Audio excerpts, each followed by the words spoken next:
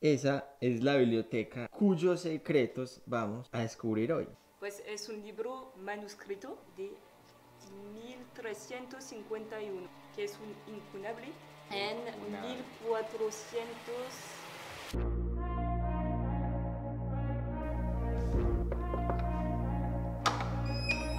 Hola, Hola, salud.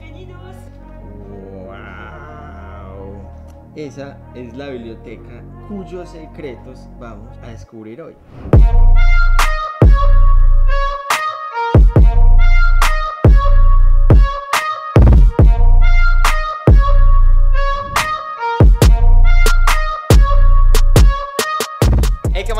¿Qué más lectores? Estamos acá en la casa de Amici. Hola, Amici. Soy Amici, encantado. Amici es la traductora al francés del canal. Hay varios videos en el canal traducidos por ella al francés. Ya saben que si quieren ver cómo sueno en el estante literario en francés de manos de la traductora Amici, pues les voy a dejar esos videos en la descripción. Pero hoy estamos acá para conocer la casa de Amici y sobre todo los secretos de la biblioteca. Tiene libros súper raros, súper antiguos, libros valiosísimos, llenos de curiosidades que hoy vamos a descubrir. Así que vamos Amici. Vamos. Empezamos en el tour.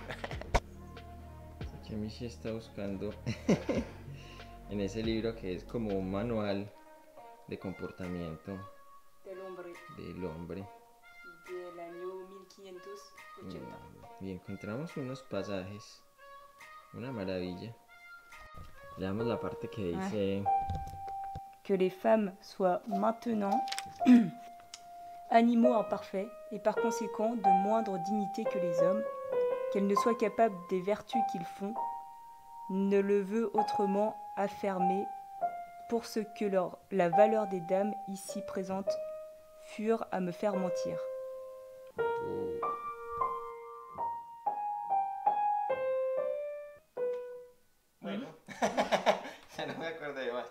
Que...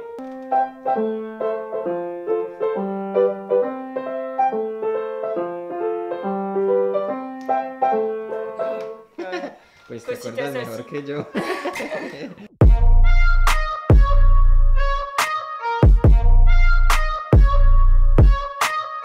Bueno, muéstrame los libros, qué cool. A ver, este chiquitico, Sí. ¿qué es? Pues es un libro manuscrito Ajá, que data, se dice, sí, eh, de 1351. Ay, María. O sea, hace 700, no, 670 años. Sí, Ah, y entonces fue escrito probablemente por un monje. Uy, es súper imposible leer. Sí, y es en latín, entonces. Ah, ¿Sabías que en ese tiempo no había puntuación? O la puntuación era muy rústica. Mira que no hay tantos puntos. Es tan pequeño que no podemos verlo. Sí, Sí sí, hay. Genial. Vámonos por aquí. A ver otro bien interesante. Este, Ajá.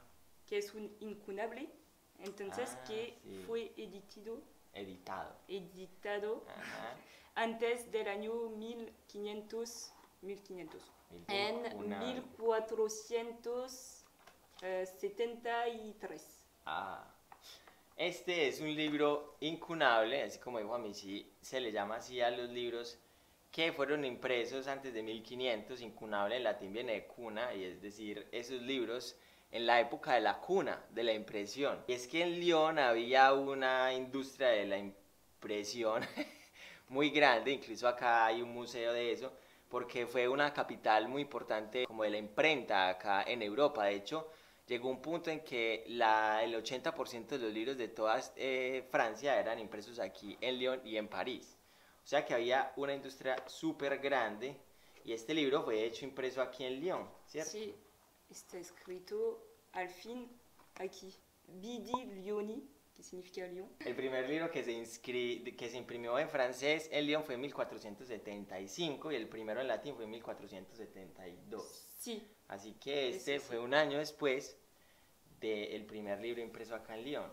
Ah, por aquí. ¿Qué más hay por acá?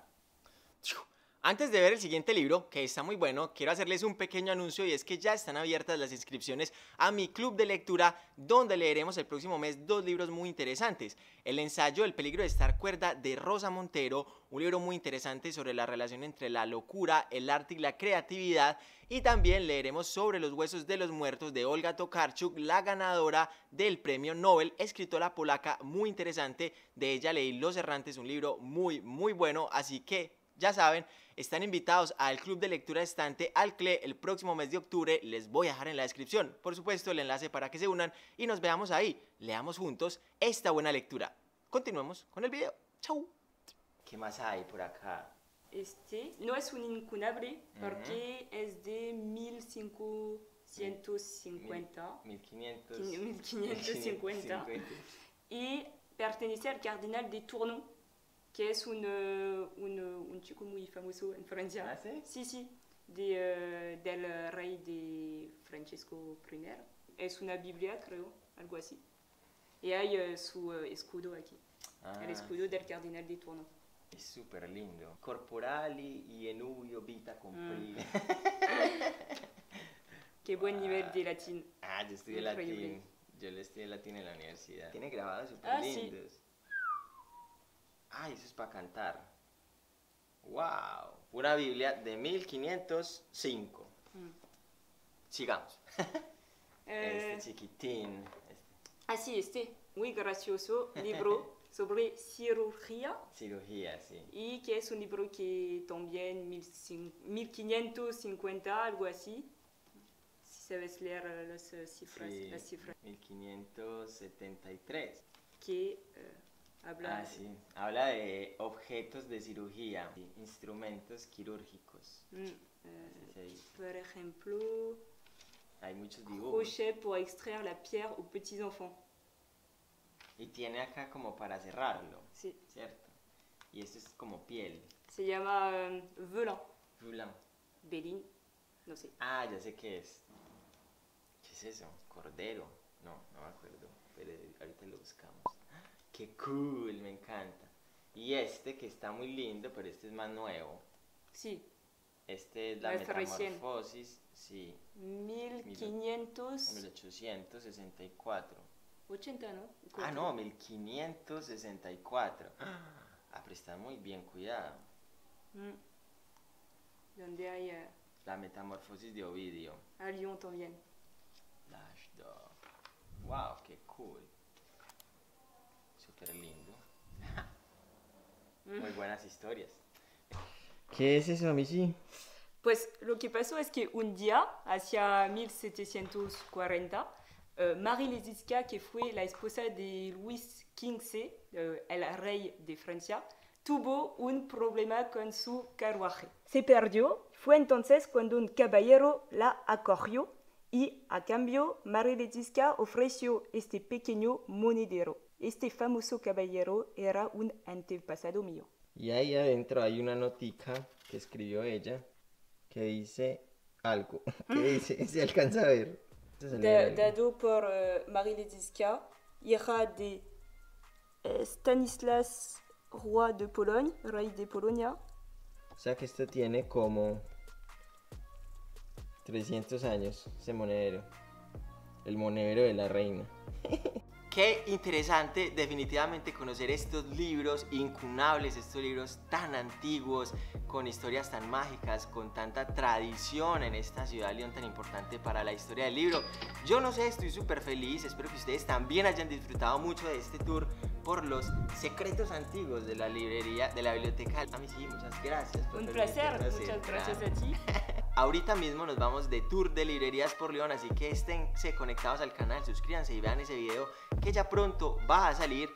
Y además vean los videos que ha traducido a Missy que les dejo en la descripción para que vean qué tal es su trabajo traduciendo mi español tan enredado.